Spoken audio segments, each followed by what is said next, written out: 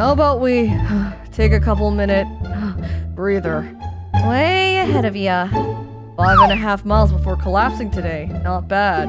Whew, what do I win? I'm 1% less embarrassed by being around you. I don't think I'm that embarrassing to be around. Try saying that while not lying on the ground in dramatic fashion to appear silly. I understand why you think that, and normally, yes, I do this to act silly, but I legit can't move a muscle right now. For real? Yes, please help? Jeez, I'm honestly sorry about dismissing you like that. It's okay, I don't blame you. Is there something wrong with the suit? I don't think so. Though these past few days, I felt like I've been pushing myself super hard with this and Miranda's recent experiments. If not for the bodysuit, I'd be dead 10 times over. I see. Guess the bodysuit can only hold back so much abuse before your actual body gives out. Makes sense to me. Well, let's ease up on the morning runs these next few days, lest you wind up dying from overexertion. Oh, morning, Angela. Great weather for a jog, right? Morning. Hey, Andrea, how you been? Um, I've been well. Have we met? Yeah, back at Elaine's party. I'm sorry, but my mind's blinking at the moment. You don't remember? I ran up to you and then you, um, we introduced and nothing out of the ordinary happened. Um, okay. I'm a pretty unremarkable person, so I don't blame you for forgetting. My name's Doris. I'm Andrea. Nice to get reacquainted with you. I'll make double sure not to forget you this time. Uh, sorry, my body's a tad incapacitated at the moment. Huh? She overexerted herself and collapsed just before you showed up. Wait, what? Is she okay? Do I need to call an ambulance?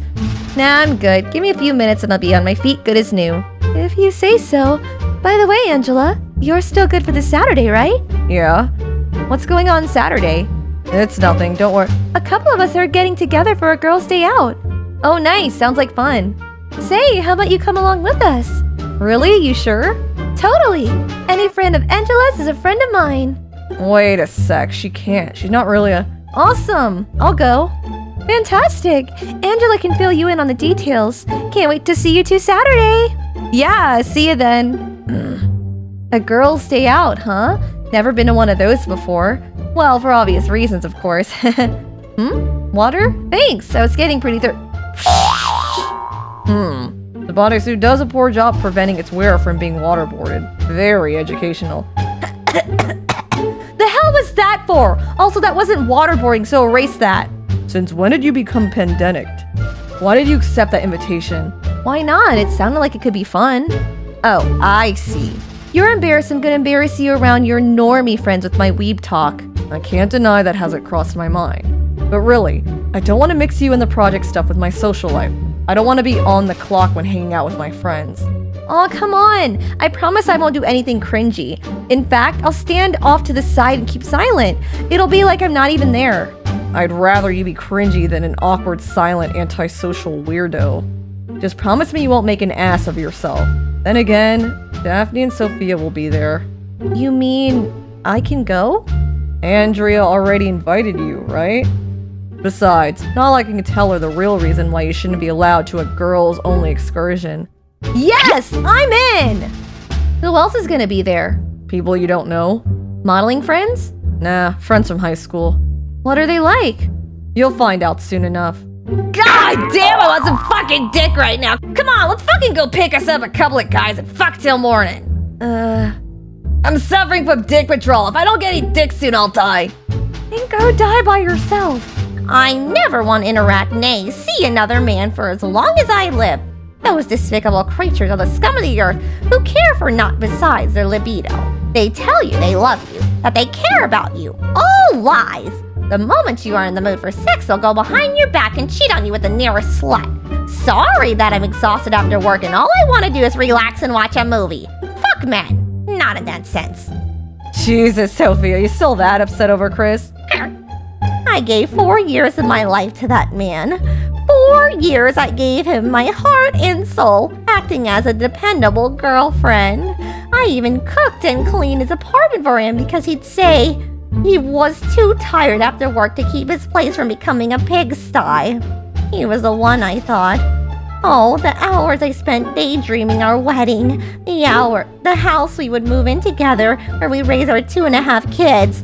Only to catch him pussy deep in some hussy met online. Of course I'm still upset. Just get over it. You'll feel better afterward. One cannot just get over such a betrayal. Not that I expect you to understand that. What with you fucking a total stranger every other night? Look how happy I am compared to you getting bent out of shape over ancient history. Ancient history? It only happened last week. Come on, you two. It's time to stop. Breathe. Count to three. If you don't, I'll have to forcibly separate y'all. Yeah, I've only gone down on three guys since then. That argument isn't the home run you think it sounds. Yo. Time out for the both of you. Sorry, Sophia, Daphne, this is Doris. Doris, Sophia, and Daphne. It's a pleasure to meet. Damn, girl, since when did you know such a bombshell? You look like you jumped straight off the pages of a fashion magazine. She's one of your modeling friends, Angie. Check out the meat in these thighs. I need to take you clubbing with me. I'm sure they'd attract five times the guys with you around. Can't you get your mind out of the gutter for five minutes? Ugh. I'm terribly sorry for the vulgarity, Doris. You must forgive Daphne's behavior. For you see, Daphne's a bit of a whore. At least I'm honest about myself. Just ignore her bullshit. Sophia likes to act all sophisticated and crap, all because she went to some Ivy League university. Hark! The jealous whine from a community college dropout who thinks graduating summa cum laude is a detriment.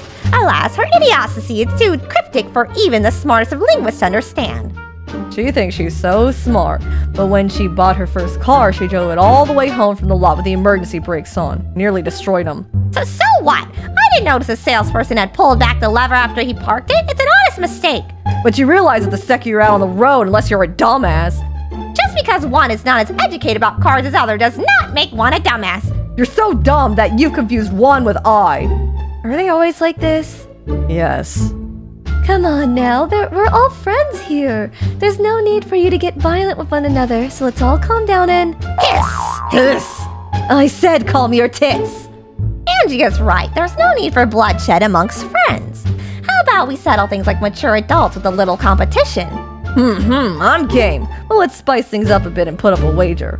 Loser has to strip naked and do whatever the winner says for the rest of the day. Scratch off this stripping nonsense and I'm in. Okay, deal. I know just the place where we can compete. Goody! Then let's get this girls' day out started. Whoa. I'm beginning to regret coming. Batting cages was the first thing in my mind when I heard girls say out. What better way to our petty squabbling than with a little sportsmanship? Yeah, right? Plus I can swing a bat around without the cops getting called on me again. Alright, alright, alright. Here be the rules. You get one round to get as many hits as you can. Whoever gets the most wins. Got it? Sounds good to me. Let's do this. Question Why are we all competing? I thought this was for the two of them to settle their argument. Why not? It'll be more fun to compete than to sit by and idly watch. Good point. Second question Can we have a practice round? Last time I swung a bat was like, There are no practice rounds in life. You get one shot at it, then you're dead forever. So make it count. Live life to the fullest. Is that a no? Okay, since this was my idea, I'm going first. Stand back and watch the Batmaster work her magic. Hold up! The rules state you have to wear a helmet when you enter the cage. I'm not. Ow. There's no way I'm wearing some stupid helmet. Safety first. Go, Daphne! Woo! God, I feel like a doofus. I know what you're trying to do, Andrea. You're trying to throw me off of my game. Well, it ain't gonna work. Just you watch. Mm. The hell's this? Fucking balls, get closer to the plate. This is some grade A bullshit. Ugh. Now, now, Daphne. No need to take your anger out on the gate. What an impeccable display from a true Batmaster. Oh, fuck off. The damn machine was broken or something. On the contrary, the machine is working as intended. It's just that the cage is set for slow pitch softball. Wait, what? You mean each cage pitches differently? You suggested coming here and didn't know that? I've never been to one before, so sue me. Then why did you suggest it? Alright, I get a do-over since I didn't know about the different cages. Nuh-uh-uh. We all get one turn at bat. Those were the rules you put in place. There is no practice round in life, remember? As the Greek philosopher Diogenes once said, karma's a bitch. Go, Sophia! Woo! Wait, you're not going to finish your turn? I see no reason to, for I've accomplished what I'd set out to do. Aw, yeah, you see that bitch fucking whooped your sorry ass. Bullshit! It barely touched the bat. Besides, you didn't even swing. Shit doesn't count.